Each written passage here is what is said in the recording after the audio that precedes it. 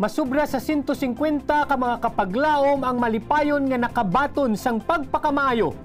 Pinaagi sa mga nagkalain-lain nga mga pagkaon sa ginpatigayon nga Women's Ministry Community Pantry sang aton nga Metro Bacolod 4 didto sa San Roque, Barangay Tangub.